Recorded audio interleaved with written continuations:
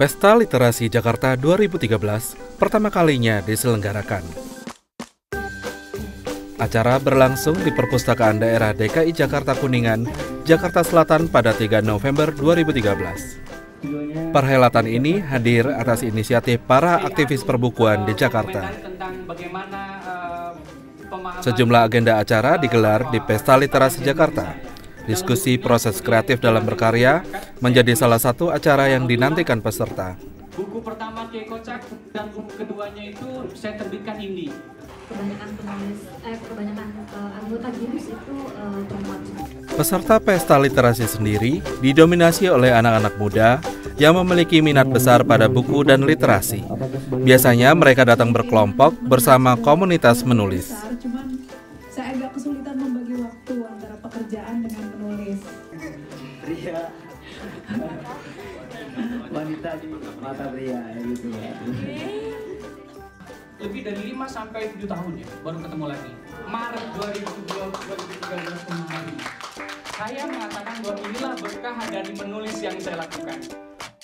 Peserta bukan hanya datang dari Jakarta, tapi juga dari Bekasi, Cirebon, dan sebagainya. Salah satu acara yang dinantikan adalah bincang bersama penulis. Hadir dua tokoh penulis senior, yaitu penyair Sapardi Djoko Damono dan pendiri Rumah Dunia Golagong. bagaimana cara kita meneliti, itu tidak harus tahu dulu. Yang tidak kita ketahui adalah hasilnya. Karena penelitian, kalau penelitian itu sudah dimulai kita tahu hasilnya, namanya bukan penelitian dong. Para peserta bebas bertanya dan menimba ilmu dari dua tokoh ini. Alurnya itu ada maju, ada kadang mundur, kadang maju gitu ya Pak ya? Pesta Literasi Jakarta rencananya akan berlangsung setiap tahun, menjadi salah satu ajang pertemuan dan pertukaran ide para pecinta literasi. Sapardi Djoko Damono dan Golagong menyambut baik inisiatif pelaksanaan Pesta Literasi Jakarta ini.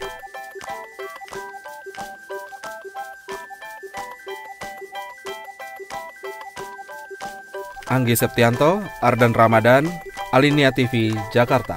Ya, acara peluncuran buku semacam ini penting supaya masyarakat tahu memilih buku apa yang mau dibeli karena jumlah buku itu sangat banyak. Oleh karena itu lebih seringlah menggunakan melaksanakan acara semacam ini. serbu perpustakaan atau taman bacaan masyarakat. Karena di sana ada ilmu. Maka buku adalah pelangi, maka cintailah hujan.